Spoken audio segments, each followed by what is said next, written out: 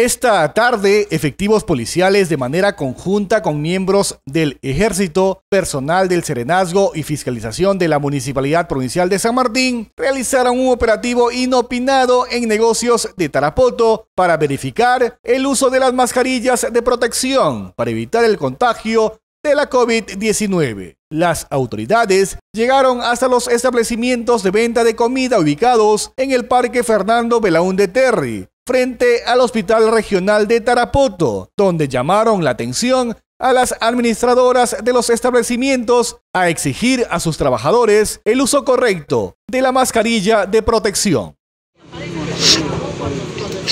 ¿Cómo no nos vamos a dar cuenta, señora? Señor, yo no puedo estar también de refresco, estoy tomando, estoy tomando mi refresco.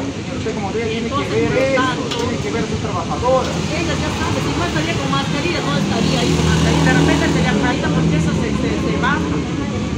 Eso tiene la opción de bajarse, entonces uno hay que estar alzando, alzando la mascarilla. Otra Yo cosa sería que la señora no tenga, es muy diferente. No, no, está bien. Para mí el hecho que este está acá, no tiene.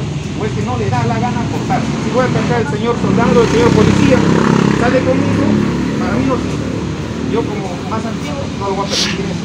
Usted como dueña no va a permitir eso. Señores, se le va a hacer, le se le le va a ha hacer le la, le- la recomendación. Claro, está bien. Que el señor usted controle. De repente usted no, no puede controlar, no le da de repente, no sé, esa, esa responsabilidad, entonces mejor negocio. ¿Por qué? Porque con estos contagios está avanzando el COVID. Ya señora, está avanzando el COVID, ya, ya que usted me está grabando. Si no nos cuidamos con la mascarilla, Sí, va a avanzar más. Asimismo, multaron a aquellos que aún teniendo la mascarilla no lo portaban. Solo al ver a los efectivos policiales se colocaron.